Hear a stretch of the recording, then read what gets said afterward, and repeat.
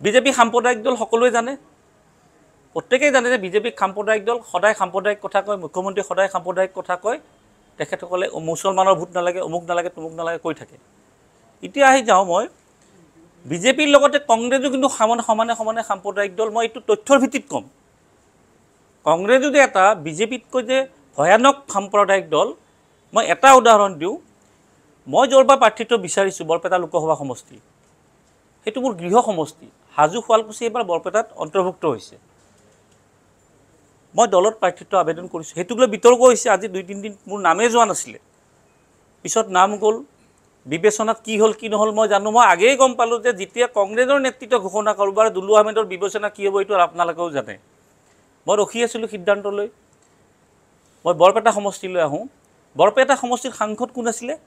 আব্দুল খালেক এইবাৰ সমষ্টি পুনৰ নিৰ্ধাৰণ প্ৰক্ৰিয়াত বৰপেটাত অকণমান সংখ্যাগুৰু ভোটাৰ বাঢ়িল।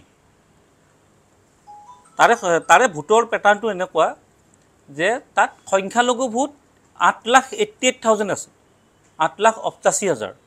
আৰু সংখ্যাগুৰু সংখ্যাগুৰু ভোট আছে এঘাৰ লাখ একৈছ হাজাৰ। এইটো মই তথ্যৰ ভিত্তিত কৈ আছোঁ। তাতে অলপ কম বেছি হ'ব পাৰে কিবা। এতিয়া তাত সামা- সামান্য ভোট বঢ়াৰ কাৰণে কংগ্ৰেছ দলৰ প্ৰথমৰ পৰাই কথা যে ইয়াতে এগৰাকী আমি সংখ্যাগুৰু প্ৰাৰ্থী দিম। ভাল কথা। তাত হিন্দু ভোটাৰ বাঢ়িছে হিন্দু প্ৰাৰ্থী দিব লাগে কিন্তু অধিকাৰটো মোৰো আছে। অধিকাৰ মোৰো আছে যে আমি সমৰ্থন কৰিছোঁ। আৰু এটা কথা বিৰোধীয়ে কওক যে দুলু আহমেদে সমৰ্থন কৰি আছে আপোনালোক এটা মই সৰু কথা মনত পেলাই দিম। আজি আঠ ন মাহ পূৰ্বে প্ৰদেশ কংগ্ৰেছৰ সাধাৰণ সম্পাদক নৱজ্যোতি তালুকদাৰ ইয়াতে আহিছিলে মোৰ এই কাৰ্যালয়ত আহিছিলে। আহি ক'লে আমি এতিয়া বিৰোধী ঐক্য মঞ্চত আছোঁ এটা গোচৰ চলি আছে মই পঞ্চল্লিছ লাখ টকা কংগ্ৰেছৰ পৰা পাই আছিলোঁ। ভাড়াৰ নামত। এই যোৱা চাৰি পাঁচ বছৰ যোৱা ইলেকশ্যনৰে আমাৰ দলৰ লগত কথা পাতি মই কি কৰিলোঁ সেই গোচৰ উইড্ৰ কৰি ল'লোঁ। মই পাবলগীয়া পইচা দি দিলোঁ। এতিয়া যিহেতু দুইটা দল একেলগে আছে গোচৰ চলি থাকিলে বেয়া দেখি গোচৰটো মই উইড্ৰ কৰি দিলোঁ। এতিয়া কি হ'ল যেতিয়া মই প্ৰাৰ্থিত্ব বিচাৰিলোঁ বিচাৰাৰ পাছত সহযোগ কৰি আছোঁ মই। কোনোবাই যদি কয় দুলু আহমেদে বিৰোধী ঐক্য ঐক্যমঞ্চক সহযোগ কৰা নাই মই কৈছোঁ নমিনেশ্যনৰ শেষ পৰ্যায়লৈ মই সমৰ্থন কৰি যাম। তাত কোনো সন্দেহ নাই। দলে কি কৰে কি নকৰে সেইটো মোৰ বিষয় নহয়। কাৰণ দলে নিৰ্ভৰ কৰি আছে এতিয়া কংগ্ৰেছৰ নেতৃত্বৰ ওপৰত। গতিকে সেইকাৰণে মোৰো কিছুমান সন্দেহ আহি পৰিছে যে যদি আমাৰ দলৰ সিদ্ধান্তবোৰ কংগ্ৰেছ নেতৃত্ব লয় তেতিয়া মোৰ ক্ষেত্ৰত অকণমান মানে মই ভাবোঁ যে যিকোনো পৰ্যায়তে মোৰ ক্ষেত্ৰত মই অকণমান মোক হয়তো পিছুৱাই দিব। এতিয়া বৰপেটাত যেতিয়া মই বিচাৰিলোঁ এই যিটো মই হিন্দু মুছলিম সমীক্ষা কংগ্ৰেছে উলিয়াই দিলে দিয়াৰ পিছত তাৰে যিগৰাকী স্থানীয় সাংসদ আব্দুল খালেক আব্দুল খালেক ডাঙৰীয়া তেখেত সাংসদ হৈয়ে আছে। তেখেতৰ মন্তব্য চাব যে মোক হাইকমাণ্ডে মইতো বৰপেটাত বিচাৰিছোঁৱে ধুবুৰীত বিচাৰিছোঁ তাৰ উপৰি যদি মোক মানে অসমৰ চৈধ্যটা লোকসভা সমষ্টিৰ য'তেই প্ৰাৰ্থিত্ব নিদিয়ক মই ত'তেই প্ৰতিদ্বন্দ্বিতা কৰিম।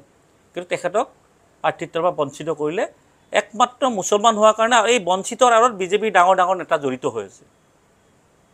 এই বঞ্চিতৰ আঁৰত আব্দুল খালেক ডাঙৰীক যে বঞ্চিত কৰিলে বিজেপিৰ ডাঙৰ ডাঙৰ মুখ্যমন্ত্ৰীয়ে কওক বা মন্ত্ৰীয়ে কওক জড়িত হৈ আছে। সাম্প্ৰদায়িক। কৈ থাকে নহয় মুছলমানৰ ভোট মুছলমানৰ ভোট নালাগে নালাগে। তে মুছলমানক বলি এগৰাকী ইমান পুৰণা জ্যেষ্ঠ কংগ্ৰেছী নেতা বিধায়ক আছিল সাংসদ আছিলে তেখেতক অসন্তুষ্ট কৰি কেৱল মুছলিম হোৱাৰ পৰা তেখেতক দলীয় প্ৰাৰ্থিত্বৰ পৰা বঞ্চিত কৰিলে। এতিয়া আহোঁ নগাঁও মই লোক লোকসভালৈ।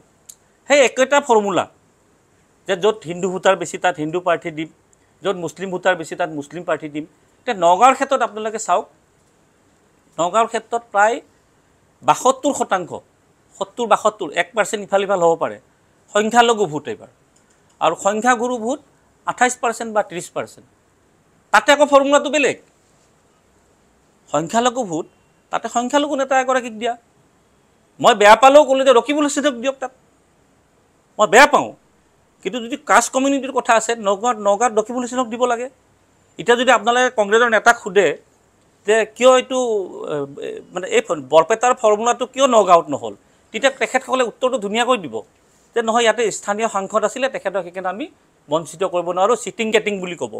সেই একেটাই চিটিং কেটিং কিন্তু আব্দুল খালেক ডাঙৰীয়াৰ ক্ষেত্ৰত নহয় আকৌ।